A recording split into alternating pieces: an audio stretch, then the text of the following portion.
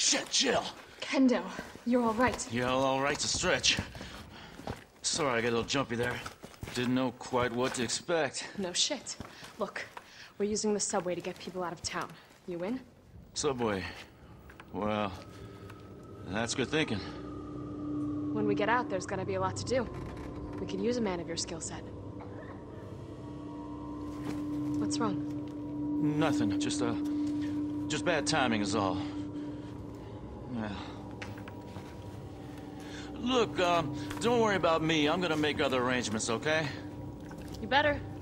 You're the best gunsmith around. Oh, no. Don't do anything stupid. oh, that's, that's your job, right? Take care, Jill.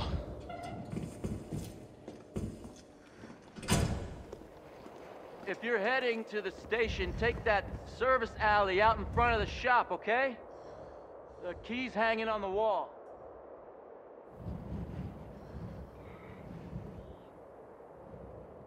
It's all right, Pumpkin. It's all right. That's a good girl.